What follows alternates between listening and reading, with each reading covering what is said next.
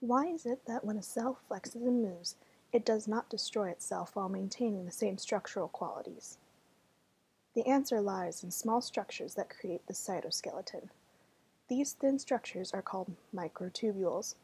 They create structure and stability for the cell, as well as networks of transportation for motor proteins to transfer material across the cell. So if these structures are rigid, why do they not break when the cell moves? The answer lies in an area called the centrosome.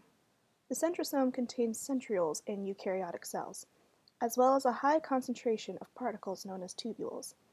It is in this location that microtubules are both broken down and formed.